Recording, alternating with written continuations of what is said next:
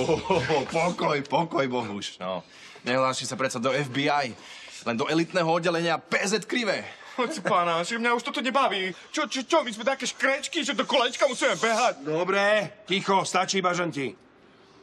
Teraz pôjde do tuhého. Pôjdete do terénu na misiu. Čaká vás poslanie. Wow, to znie drsne. Ticho, brázda. Dobre. Budete hliadkovať na hranici. Jeden za všetkých, všetci za jedného, ale pozor, každý sám za seba. Počkaj, tomu nerozumiem. Ja to vysvetlím. Na hranicu vám nastrčíme pašerákov. Samozrejme, že to nebudú praví pašeráci. Ich je medzi vami dosť. Hm. Budú to radoví občania krivého. Ale pozor, budú sa brániť zubami, nechtami. No dobré, a čo s nimi budeme robiť? Výborná otázka, Dmitro. Výborná, odpoviem. Zaistíte ich. To sa s pašerákmi robí. Nie? A samozrejme aj s kontrabandom.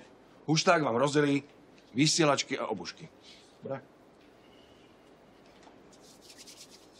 Už tak vám rozdelí vysielačky a obušok.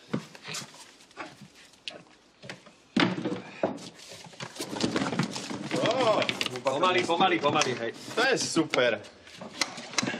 Tak sme sa hrávali ako malí chlapci, nie? Na vojačikov. Dobre, no áno, jasné. Dobre, ukludníme sa, mráz na kľud. Je všetko. Julo. Prepač, ja som ešte chcel, že kde zoženieme tých e, akože pašerákov? No normálne na ulici oslovíš nejakých občanov krivého. No dobre, ale koho? Pane Bože, koho?